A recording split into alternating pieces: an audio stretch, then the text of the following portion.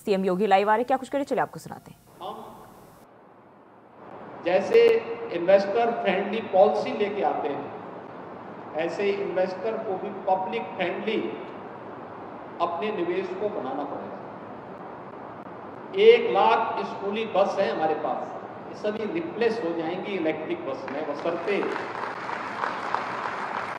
इस दिशा में हम लोगों ने अपने स्तर पर थोड़ा भी इनिशिएटिव लिया उत्तर प्रदेश में एक लाख पाँच हज़ार से अधिक हमारे पास राजस्व गाँव है।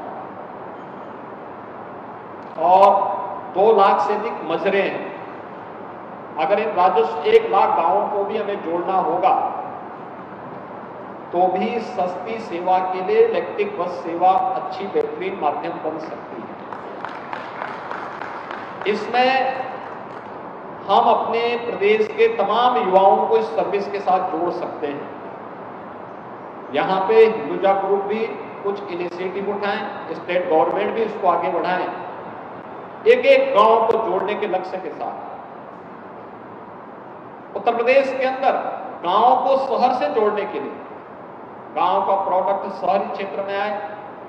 छोटे ट्रक्स आपके जो बने हुए हैं, माल ढोने वाले सामान्य गाँव की सब्ज़ी है, गाँव का फल है, गाँव में कोई, गाँव का कोई उत्पाद है, वह मार्केट में लेके आना है। इलेक्ट्रिक ट्रक छोटे छोटे इलेक्ट्रिक ट्रक, जो गाँव की आवश्यकता या फिर चीलिंग प्लांट के रूप में अगर हम लोग उस प्रकार के दूध को दुग्ध समितियों के साथ जोड़ करके भी सिटी के अंदर लाने में योगदान दे सकेंगे तो भी एक बहुत बड़ा मार्केट अकेले यूपी आपके पास है। और यूपी का मतलब यूपी नहीं है। यूपी का मतलब बिहार भी, मध्य प्रदेश भी और नेपाल भी यूपी के साथ किसी न किसी रूप में जुड़ा हुआ है। ये सभी राज्य इस सुविधा का लाभ लेंगे। प्रधानमंत्री जी के द्वारा कल जो शिलान्यास का कार्यक्रम संपन्न किया गया है, दस लाख चौबीस हज़ार करोड़ रुपए के निवेश के प्रस्ताव को जमीनी धरातल पर उतारने का कार्य हुआ है। और आज अशोका लेलैंड ने अपने कार्य को प्रारंभ भी कर दिया है। इसके लिए मैं आप सबको हृदय से बधाई देता हूँ। आदरणीय प्रधानमंत्री जी के प्रति आभार व्यक्त करता हूँ और विश्वास व्यक्त करता हूँ। कि उत्तर प्रदेश का मार्केट आपका इंतज़ार कर रहा है, कितनी जल्दी और कितनी तेज़ी के साथ आप अपने कार्य को आगे बढ़ा सकते हैं। अब यह इस ग्रुप पर निर्भर करेगा। राज्य सरकार अपनी पॉलिसी के अंतर्गत हर इलेक्ट्रिक बस में 20 लाख रुपए तक की इंसेंटिव अपनी ओर से दे रही है। स्टेट गवर्नमेंट की पॉलिसी है इलेक्ट्रिक व्हीकल की हमारी अपनी पॉलिसी अलग है।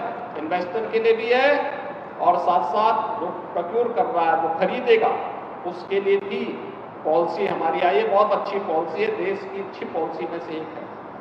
अगर उसका लाभ उठा पाएँगे, लोग भी उठा लें और इन्वेस्टर भी उठा लेगा तो जो प्रधानमंत्री जी का लक्ष्य है कि नेट ज़ीरो के लक्ष्य को हमें प्राप्त करना ही होगा। उस दिशा में यह एक प्रगतिशील कदम होगा। मैं एक बार फिर से इंदुजा ग्रुप को, अशोका लैंड को इस पूरे कार्यक्रम के लिए हृदय से बधाई देता हूँ, अपनी शुभकामनाएँ देता हूँ। धन्यवाद। जय हिंद। धन्यवाद मुख्यमंत्री जी। आज का ये कार्यक्रम इसमें यहाँ पर आप मौजूद हैं, हमें बहुत बहुत आनंद है। आज अशोक लेलिन के नए ब्रांच का लखनऊ उत्तर प्रदेश में भूमि पूजन हो रहा है और इसी इसी खुशी के हम तहे दिल से धन्यवाद।